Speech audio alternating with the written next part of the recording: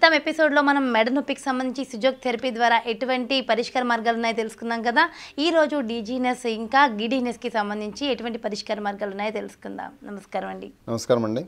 Doctor గారు dizziness ఇంకా గిడీనెస్ జనరల్గా ఉంటూ ఉంటుంది. మనకి కళ్ళు తిరగడం తల తిరగడం ఇలాంటి ఇష్యూస్ ఉంటూ ఉంటాయి. మరి అటువంటి వాటికి సిజోక్ థెరపీలో ఉన్న పరిష్కార మార్గాలు ఉంటాయండి? ముందుగా సిమంటి ప్రేక్షకులందరూ కూడా నమస్కారం అండి. ఈరోజు మనం చెప్పుకోబోయే విషయం ఏంటంటే గిడినెస్ డిజీనెస్. చాలామంది యూత్ సఫర్ అవుతున్నటువంటి problem.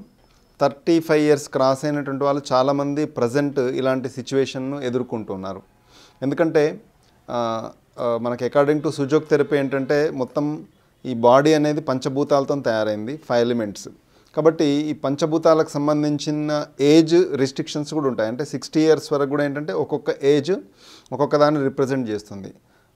ట్వెల్వ్ ఇయర్స్ లోపల విండేజ్ అంటాము. ఆ ఏ ఏజ్లో ఏంటంటే బాడీలో మజిల్ మూమెంట్స్ చాలా ఉంటాయి. పిల్లల్లో ఆడుకోవడం చేయడం ఇవన్నీ ఉంటాయి అన్నమాట తర్వాత హీట్ స్టేజ్ తర్వాత హాట్నెస్ స్టేజ్ తర్వాత హాట్నెస్ స్టేజ్ తర్వాత హ్యూమిడిటీ స్టేజ్ అనేది వస్తుంది.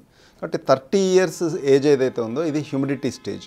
ఈ హ్యూమిడిటీ స్టేజ్లో సహజంగానే ఏంటంటే స్టమక్ డిసార్డర్స్ అంటే గ్యాస్ట్రిక్ ప్రాబ్లమ్స్ ఎసిడిటీ ప్రాబ్లమ్స్ దాని తర్వాత ఈ గిడినెస్ డిజినెస్ లాంటి సమస్యలు సర్వైకల్కి సంబంధించినటువంటి సమస్యలు ఇవన్నీ మనం సహజంగానే మనం చూస్తున్నాం దీనికి చాలామంది గాబరా పడిపోయి ఏం చేయాలో అర్థం కానటువంటి పరిస్థితులలో ఎందుకంటే రకరకాల ప్రాబ్లమ్స్ ఒకటేసారి ఫేస్ చేయాల్సి వస్తుంది. అంటే డైజెస్టివ్ సిస్టమ్ డిసార్డర్స్ సైడ్ వెళ్ళాలా సర్వైకల్ సైడ్ వెళ్ళాలా సెంట్రల్ నర్వస్ సిస్టమ్ ప్రాబ్లమా? అంటే ఏ ప్రాబ్లము అర్థం కాకుండా చాలామంది ఇబ్బంది పడుతున్నారు. రిపోర్ట్స్లు అన్నీ కూడా నార్మల్ ఉన్నటువంటి వాళ్ళు కూడా ఇలాంటి సమస్యలు ఎదుర్కొన్నటువంటి వాళ్ళు మనం చూస్తున్నాం. వాళ్ళ కోసం సుజోక్ థెరపీ లోపల చక్కటి పరిష్కారం ఉందండి. దానికి సంబంధించి ఎవరైతే ఈ డిజీనెస్ గిడినెస్తో బాధపడుతున్నారో అంటే తెల్లారు లేవగానే మంచం నుంచి లేవగానే వెంటనే కళ్ళు తిరిగినట్టుగా అనిపించడం కొన్ని కొన్ని సందర్భాల్లో కొందరికి బస్సులో వెళ్తున్నప్పుడు కొందరికి ఏంటంటే ముఖ్యంగా మార్నింగ్ అవర్స్లో ఇలాంటి సందర్భాలు మనం చూస్తూనే ఉన్నాం. వాళ్ళకి ఏంటంటే మనకు సుజోక్ థెరపీ లోపల చాలా చక్కటి పాయింట్ అనేది ఉందండి. ఈ పాయింట్ మీరు గుర్తించాలి. ఎప్పుడైతే మీకు ఈ డిజీనెస్గా అనిపిస్తుందో ఆ సందర్భంలో ఈ పాయింట్ వాడచ్చు.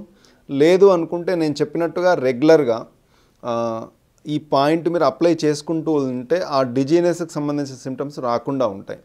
ఒకవేళ ఆ సిమ్టమ్ మీకు ఉంది అనుకున్నప్పుడు ఏంటంటే సుజోక్ థెరపీ ప్రకారం ఇదంతా కంప్లీట్గా హెడ్. కాబట్టి ఈ హెడ్లో మనకు ఈ మెడ్యులా ఒబలం ఘాటా అని ఉంటుంది బ్యాక్ సైడ్. కాబట్టి ఈ సర్వైకల్కు తర్వాత మనకు ఈ బ్రెయిన్కు ఈ రెండింటికి కూడా కనెక్టివిటీ పాయింట్ అన్నమాట. కాబట్టి ఈ ఫస్ట్ జాయింట్ ఎండింగ్ పాయింట్లో మీరు ఈ విధంగా ప్రెస్ చేసి చూసుకుంటే చాలా హెవీ పెయిన్ఫుల్ పాయింట్ అనేది మీకు వస్తుంది. ఇది అగ్గిపుల్లతో కూడా మీరు చెక్ చేసి చెక్ చేసుకొని చూసుకోవచ్చు. ఆ ఏరియాలో ఒక స్కెచ్ పెన్తో మీరు ఈ విధంగా గుర్తించండి. గుర్తించిన తర్వాత ఇంతకుముందు మనం చెప్పుకున్నట్టుగా ఏంటంటే దీనికి కూడా మీరు వెన్ మెంతి విత్తనాన్ని తీసుకోవచ్చండి. ఒక ప్లాస్టర్ తీసుకోండి. ఆ ప్లాస్టర్కు ఒక మెంతి విత్తనాన్ని తీసుకోండి. తీసుకొని ఎక్కడైతే ఈ పెయిన్ఫుల్ పాయింట్ మీరు గుర్తించడం జరిగిందో ఆ ఏరియాలో మీరు ఈ విధంగా ఇది పెట్టేసేయండి.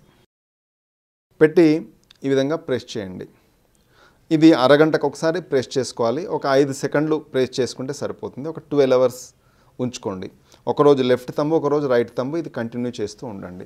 ఇంకా కొన్ని సందర్భాల్లో ఏంటంటే మనకు ఈ విత్తనాలు ఈ ప్లాస్టర్స్ మన చేతిలో ఉండవు. అగిపుల్లల్లో కూడా మనకు ఉండవు. ఎవరికైనా గిడినెస్ డిజినెస్ వచ్చినప్పుడు మనం ఏం చేయాలి? మన ఇళ్ళల్లో కూడా ఇలాంటి సమస్య వచ్చినప్పుడు మన ఆఫీస్లో వచ్చినప్పుడు వాళ్ళు కళ్ళు తిరిగి పడి పడిపోయినప్పుడు ఏం చేయాలి? ఎందుకంటే ఈ పడిపోవడానికి రకరకాల కారణాలు ఉన్నాయండి. అంతే బీపీ లో అయి కూడా పడిపోవచ్చు షుగర్లో అయి కూడా పడిపోవచ్చు. మేబీ బీపీ హై అయినప్పుడు కూడా ఇది జరగవచ్చు.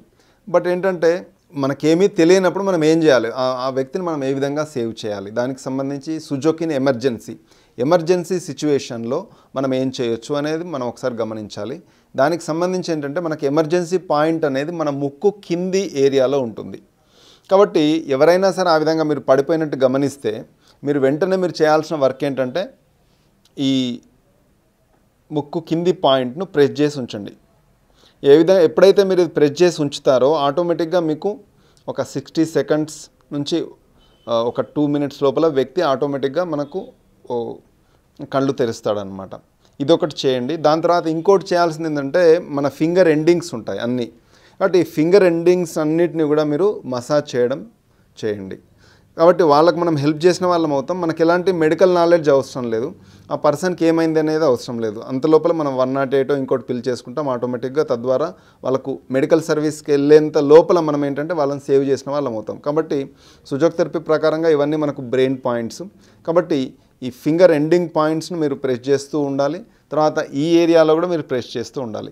ఈ విధంగా చేయడం ద్వారా ఏంటంటే ఆ వ్యక్తిని మనం సేవ్ చేసిన వాళ్ళం అవుతాం. ఎవరైతే సహజంగా మాకు డిజీనెస్ ఉంది ఎక్కడైనా వెళ్తే ఏమైనా జరగవచ్చు అనేటువంటి ఫీలింగ్లో ఉన్నవాళ్ళు ఇంకొకళ్ళని తోడు తీసుకొని వెళ్ళడం మంచిది. డ్రైవింగ్ చేయకుండా ఉండడం చాలా మంచిది. ఒకవేళ మీరు ఒంటరిగా వెళ్ళాల్సిన పరిస్థితి ఏర్పడ్డప్పుడు ఏంటంటే ఈ పాయింట్ గుర్తుంచుకోండి. ఎప్పుడైనా మీకు ఇబ్బందికరమైన వాతావరణం ఏర్పడ్డప్పుడు వెంటనే ఇది మీరు ప్రెస్ చేసుకున్నప్పుడు ఏంటంటే ఆ డిజీనెస్ గిడినెస్ వెంటనే కంట్రోల్ అవుతుంది ఖచ్చితంగా అండి. కాబట్టి ఇది మీ తోటి వారితో కూడా మీరు షేర్ చేసుకోండి. సర్వే జన సుఖినో భవంతు. థ్యాంక్ యూ డాక్టర్ గారు.